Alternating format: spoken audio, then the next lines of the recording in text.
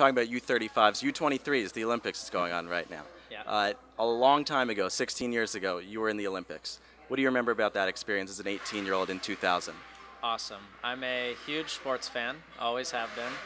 The Olympics, forget about the soccer piece, just as the experience of being in Sydney, around all that, being in the village, seeing all of that, was one of the best experiences of my life. And it's actually, that's the sad part for me that we're not in the Olympics on the men's side. So we have all these kids that don't have the opportunity to experience that. So it's sad on one level, it's a little disturbing on another level that we're not qualifying for a tournament like this. But you know, we, we've got to remedy that quickly. Yeah, that's since that you guys finished fourth in 2000. U.S. has only made one Olympics in men's soccer in the last four. Right. Why is that? It's a good question. Um, I wish I could just say, well, once or twice or three times we had one bad game in the game that mattered in qualifying that made it so we couldn't go. But the reality is, is if that happens three times out of the last four, that's a trend, right? And so we need to look at it seriously.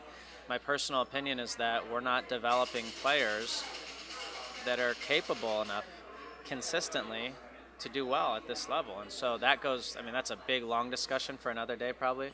But we need to do a better job at a young age of developing these kids.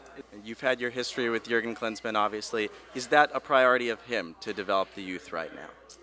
I think originally when he came in, it was. I think, and you know, this I, I can't speak for him. It's just my observation from the outside. I think he's probably realized that it's a really big ask and it's a really big task that takes not three years or five years, but takes 20 years worth of work. So I know he's passionate about it, he cares about it. At the end of the day, his job as the national team coach is to win games for our national team, and I think he understands that. So there's a lot of smart people that are working both publicly and behind the scenes to make this whole thing better. It's going to take time. We got to continue on the path we're on. Have you ever imagined yourself as manager of the U.S. men's soccer team? Have I ever imagined myself? No. No. But uh, could it happen one day?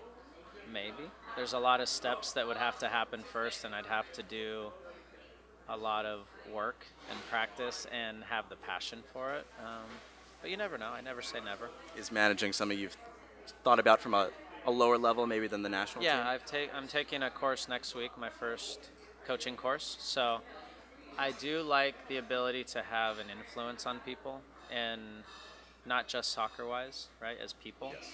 And having the ability to dip my toe in a little bit over the last few years has been really enjoyable. So I think there's potential there for something to happen. Um, whether it happens or not, whether I'm passionate about it, whether I'm any good at it, I don't know until I try. So we'll see.